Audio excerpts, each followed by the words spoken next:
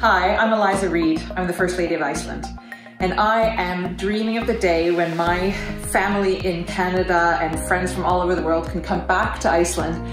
and come and experience the beautiful nature and the delicious food. I'm looking forward to being able to take them to one of our open air swimming pools and sit and relax in the water, to go for a beautiful walk somewhere and breathe in the fresh air and experience all the space, to